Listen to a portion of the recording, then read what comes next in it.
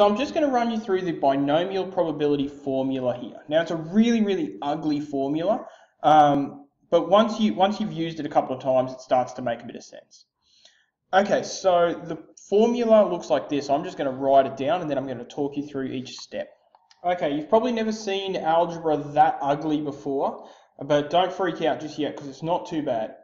Uh, now this says the probability of X successes, so in this case two successes, from seven trials, N is for trials, uh, when the probability of your success, remember we said that your probability for an individual success was 0.3 success probability.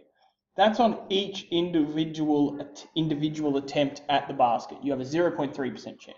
Sorry, a 0.3 chance, a 30% chance. Okay, this NCR number means the number of different ways that can happen.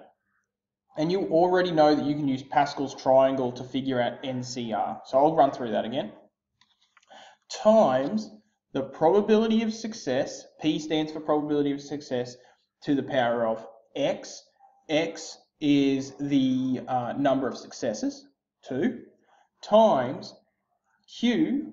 Q stands for the probability of failure, to the power of n minus x. Uh, the number of trials minus the number of successes.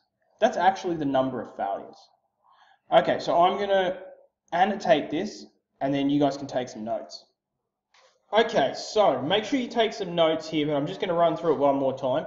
The probability of X successes, two successes from seven trials, that's N for trials, if the probability of success is 0.3, is equal to combinations from Pascal's triangle, so you figure out how many different ways that can happen, multiplied by the probability of success to the power of the number of different success, uh, sorry, the number of successes you would like to have, in this case, two successes, multiplied the probability of failure. Now, if the probability of success is 0.3, the probability of failure is the opposite of that, 0.7, or the complement of that, to the power of, now n minus x just stands for the number of failures. So if we're having two successes and we've got seven trials, then the probability of failures is 5.